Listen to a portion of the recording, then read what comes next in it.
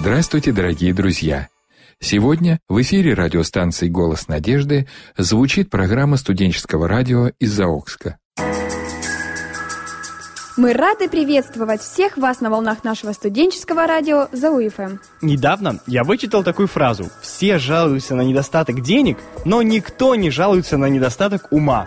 И тогда я понял, это действительно так. То есть, подожди, Даник, э, что здесь имел в виду автор? Автор хотел сказать то, что деньги, да, все думают о них, но то, чем эти деньги зарабатываются, ум, об этом люди забывают. И это очень странно. Угу. Наверное, поэтому в Библии очень много внимания уделяется глупости. Ну или, можно сказать, недостатку мудрости. Вот, например, в притче в 10 главе в первом стихе говорится «Сын мудрый радует отца, а сын глупый – огорчение для его матери». Или вот еще притча 15.21. «Глупость – радость для малоумного, а человек разумный идет прямую дорогу». И вместе с нашим гостем, который появится в нашей студии буквально через несколько минут, мы обсудим этот важный вопрос. Но сначала прослушаем музыкальную композицию.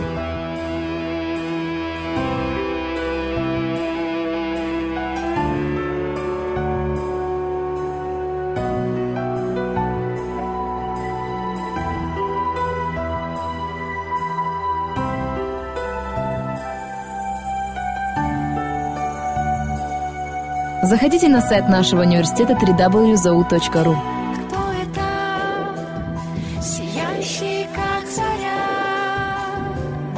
прекрасней, чем луна, ярче, чем звезда? Это ты,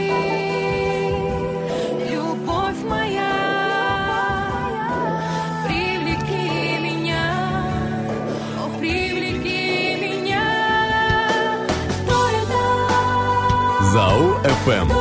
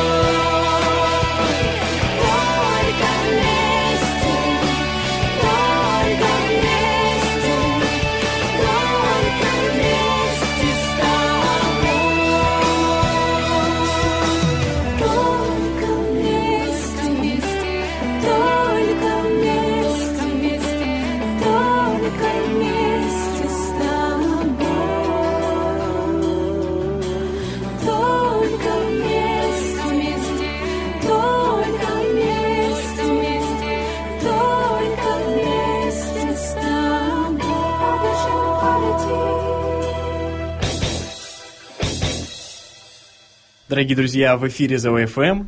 И сегодня в гостях у нас пастор церкви, преподаватель и исполняющий обязанности ректора ЗХГИ Таранюк Жан Петрович. Здравствуйте. Добрый день. И тема у нас сегодня очень необычная. Сидели мы с командой из АОФМ и как-то размышляли. Вот все говорят о мудрости, такая популярная тема, а о глупости никто не говорит. Несправедливо. Так вот, сегодня мы будем говорить о глупости, и тема называется «Я за глупость». И попытаемся ответить на, мне кажется, не очень, э, не очень легкие вопросы. Да. И начнем мы с Библии. Вот я когда читаю притчи, э, я часто сталкиваюсь со стихами, где, говорят, э, где говорится о глупости. Например, «Лучше встретить человеку медведицу, лишенную детей, нежели глупца с его глупостью». Вот что вы думаете по этому поводу? Почему в Библии эм, достаточно много стихов говорят о глупости? Не больше, чем о мудрости, но все-таки эта тема затрагивается. Ну да, достаточно часто. Я думаю, ребята, что э, Господь э, создал человека хорошим. Он его создал без греха, и он создал его э, умным, мудрым. Э, но в Библии много говорится про грех, потому что эта проблема возникла. И в Библии немало говорится о глупости, потому что и эта проблема возникла. Поэтому э, я полагаю, что Библия, поскольку это правдивая книга, это жизненная книга, это реальная книга, да, она описывает просто то, что в мире достаточно часто встречается. Э, Это не значит, что Библия призывает к глупости, но она констатирует факт и предостерегает, э, называет некоторые вещи своими именами. Поэтому мы встречаем очень много стихов, очень много высказываний относительно глупости. А почему именно в притчах так часто встречается это понятие? Вот, Или Екклесиаст тоже. ну, автор встречала. у нас один. Ну, притчи это, это ведь книга, которая относится к разделу э, литературы премудрости. То есть само по себе слово премудрости, оно говорит за себя. Это литература, где ценностью, ориентиром, таким фокусом является поиск мудрости.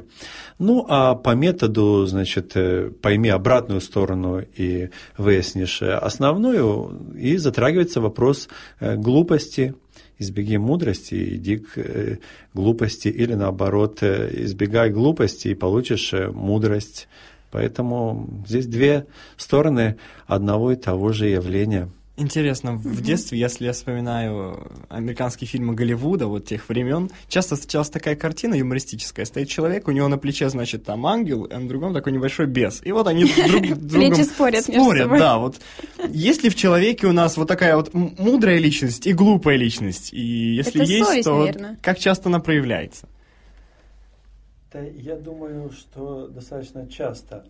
Я иногда замечал за собой такое, что смотрю на себя в зеркало, и мне хочется смеяться от э, собственной, ну, простите, немудрости. Иногда вот думаешь о каком-то своем поступке, ну, как-то нелепо это все выглядит. Да, мы действительно э, находимся в ситуации, когда на нас влияет влияют ценности, э, влияют какие-то стандарты, влияют люди, ситуации, э, идеи. И мы подвержены, мы выбираем постоянно, постоянно э, присоединяемся либо к одному, либо к другому берегу. И это может быть и берег глупости, и мудрости. Э, Вот вы в самом начале говорили, что Бог создал человека умным. Как вы считаете, э, какие вопросы легче решить, э, обладая блестящим умом, а какие вопросы нельзя решить, обладая тоже блестящим умом своим? Получается, Вот есть ли такие вопросы, в которых даже IQ за 200 не поможет? Да. Думаю, да. Э, Потому что, э, вот скажу очень субъективное мнение, но я бы далеко не поставил знак равенства между умным и мудрым человеком. Только вот записывал себе вопрос об Да. этом. Потому что э, можно много знать. Э, Можно обладать колоссальной там памятью информации. Но я бы охарактеризовал отсутствие глупости, то бишь мудрость, как э, умение э, разумно использовать ту информацию, применять ее. Скажем, умнейший человек э, может создать гениальное изобретение, которое в результате послужит там для уничтожения какой-то части человечества. Это мудрость. Я бы назвал это глупостью. Э, Потому что использовать э, силу атома, например, или силу генетики для того, чтобы испохабить человечество, это глупо, на мой взгляд. Но уметь разбираться в тонкостях э, ядерной физики это обладание большим умом и большими знаниями. Поэтому мудрость и глупость не, не прямо зависимы от знаний. А может быть человек быть человек умным, но при этом, точнее, быть мудрым, но, но при этом не обладать силой ума. Конечно. Я встречал таких э, немало. А в Библии, помните, написано, э, Посмотрите, братья, кто вы избранные. Немного из вас мудрых, э, немного из вас э, знатных, вот в первом Коринфянам. Но Бог избрал не мудрое, чтобы посрамить мудрое. Да, то есть понятие мудрости э, мира и понятие мудрости Бога, оно отличается. И, например, простой человек э, может быть не очень грамотный с точки зрения науки мира сего, он может обладать такой мудростью жизни, он может тебе, профессору, дать э, совет такой жизненный, но основанный на некотором опыте, на понимании ценностей э, жизни. Давайте поставим четкую э, грань между человеком мудрым и человеком умным. Вот в чем различие? Мы начали об этом говорить, но вот четкого определения не дали. Ну, если э, сказать, что умный человек это тот, который обладает э, большим запасом знаний, информации по определенным предметам, явлениям, областям жизни, науки и так далее. да. Но э, мы отметили, что э, умение распоряжаться этой информацией Вот это и есть правильно, мудрость. да, вот это как бы переводит нас в другую плоскость. Насколько ты э, мудро простите за тавтологию, мудро используешь э, то, что ты знаешь, то, чем ты обладаешь, э, и насколько глупо. Вот от, от этого зависит показатель твоей мудрости. Хорошо. То есть мудрость это, уме, это знание и умение правильно распорядиться э, своими знаниями. То есть, как я поняла, человек, если мудрый, он будет и умным. Получается так? Э, наве- Наверное, так. По крайней мере, с точки зрения э, Бога, с точки зрения жизненного опыта, это именно так. А вот как вы думаете, почему человек э, может обратить силу своего ума против того, кто дает ему эту мудрость, то есть против Бога? Почему? Грех, Да. мне кажется, всему виной. А, Да, мне вот вспоминается э, цитата, ее, по-моему, Эйнштейну приписывают. Он говорил о том, что мне известны только две бесконечности. Это Вселенная и глупость. Но насчет Вселенной я не уверен, говорил он. Эм, Парадокс состоит в том, что э, грех необъясним по природе своей, и глупость, которая сродни греху, она тоже не, не поддается логическому объяснению. Почему человек поступает глупо? Потому что он глупый. Почему он глупый? Потому что он не хочет научиться мудрости. Получается, Почему он не хочет научиться мудрости? Вот это вопрос. получается, каждый человек может стать мудрым. У него есть такая возможность. Да, Я бы даже сказал предрасположенность, ведь все мы созданы по образу и подобию Божьему. да, зачаток мудрости в каждом из нас есть. Друзья, у вас есть все шансы стать мудрыми. Не сидите на Точно. месте, дерзайте. Теперь, наконец-то, мы подошли к тому моменту, когда мы поговорим о безграничных возможностях э, нашего мозга. А Множество фильмов этому посвящено, я не знаю, там, анекдотов, комиксов о том, что наш мозг работает всего лишь на, ну, разная есть информация, на 3-4%. Да, где-то У детей Но- он больше Но работает. там по-моему, да? безграничная бездна возможностей. Вот расскажите о том, э, какие возможности Господь заложил в наш мозг, в наш разум. Эм, все удивительные творения техники, которые мы сегодня э, видим, которые прогрессируют, появляются компьютерные изобретения, киберпродукты какие-то, э, телефоны различные. Э, Это все ведь продукт человеческого разума. Человек создал компьютер, не наоборот.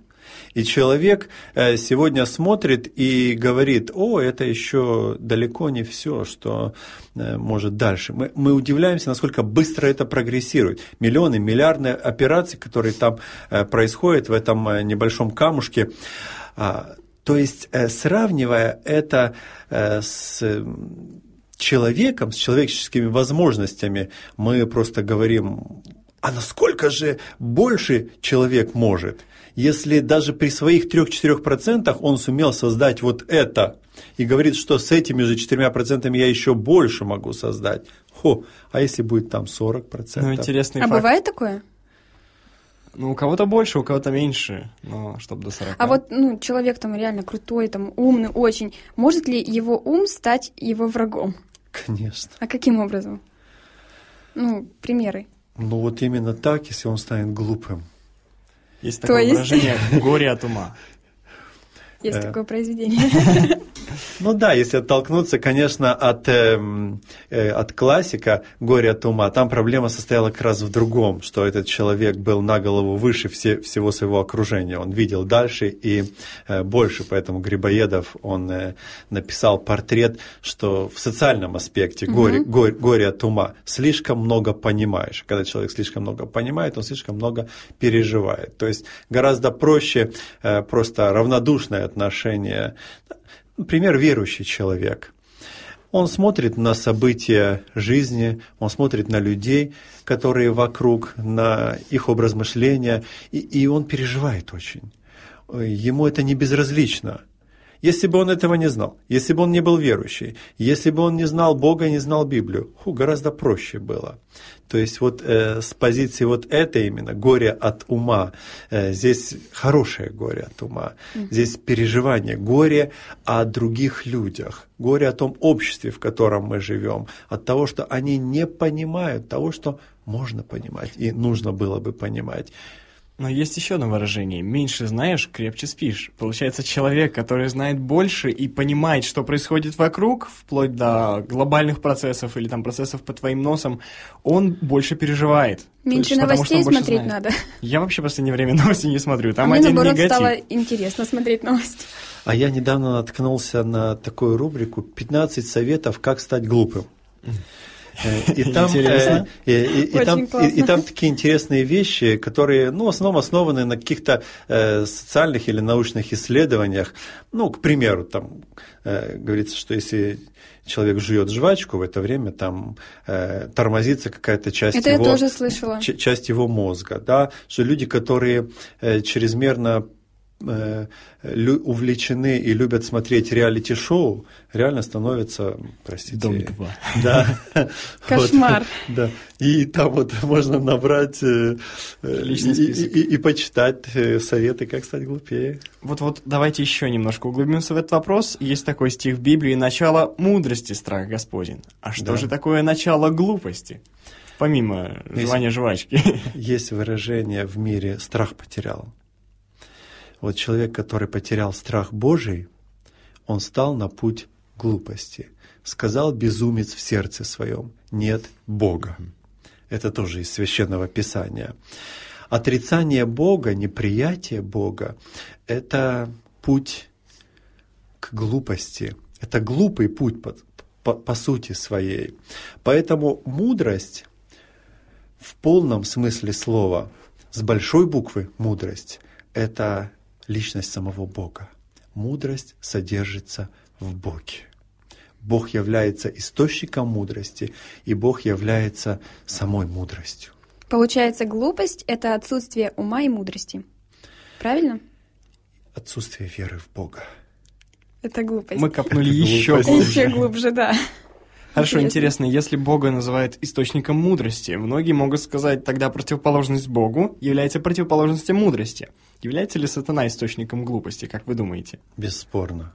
Но ведь э, он был ангел, и Он он, был довольно-таки смышленый Это, товарищ. это как раз и тот парадокс, о котором мы с вами говорили чуть раньше, что можно быть умным, но глупым.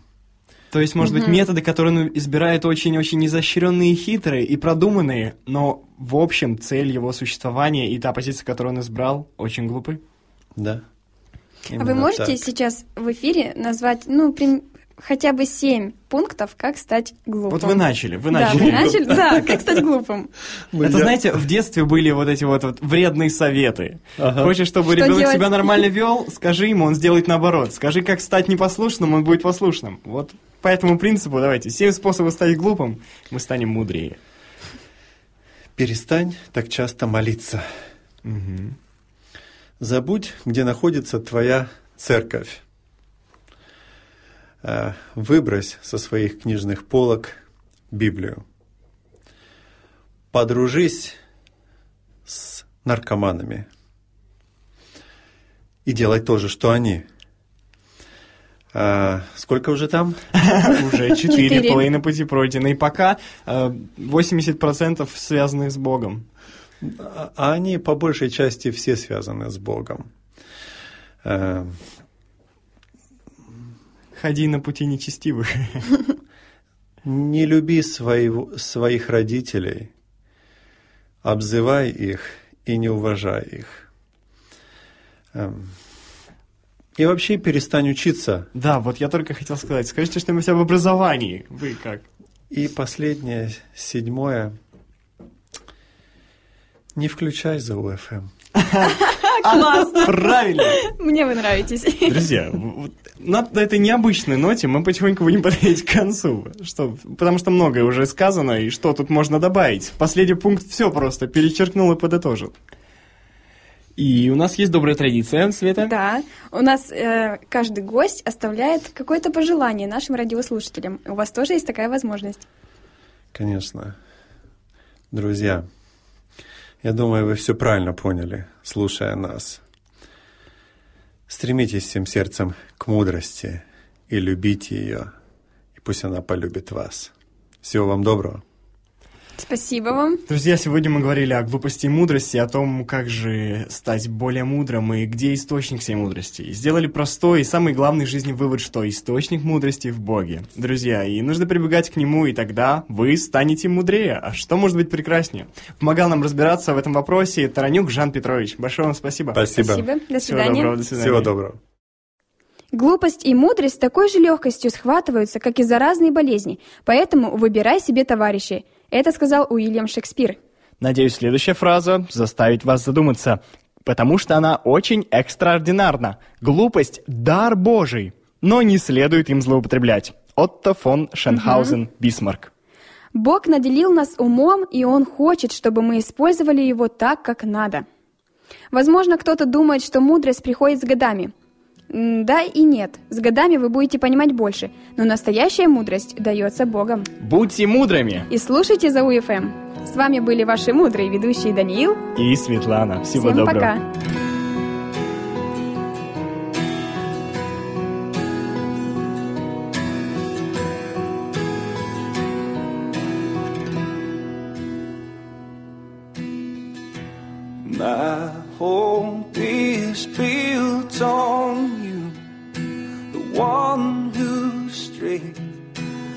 Pulled me through. My faith it rests on you, whose promises have proven true. So lead me to the place where I'm reminded of all that I've been saved from. And no religion. I am running to the place you were slain. Where your hope finds my body and your truth comes to change me, and your love will never leave me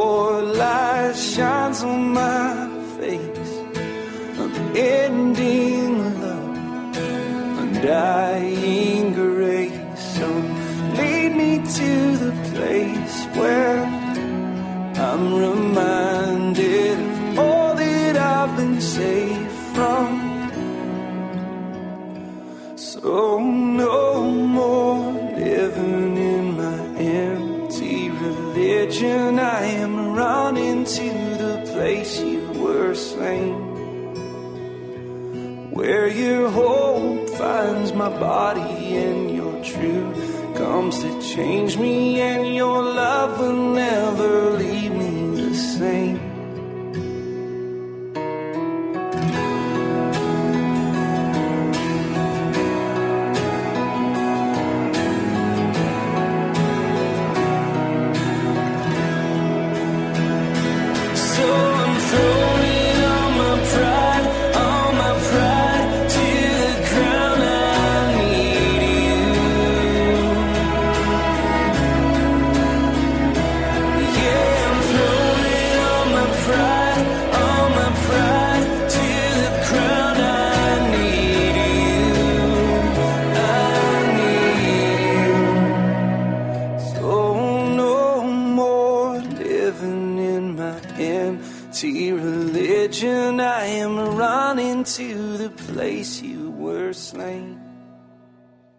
Наша передача на этом заканчивается. Ждем ваши отзывы об этой программе. Пишите нам по адресу 127 473 Москва, абонентский ящик 3, христианская радиостанция «Голос надежды». Адрес нашей веб-страницы в интернете www.голоснадежды.ру. До свидания. Господь да сохранит вас всех от зла.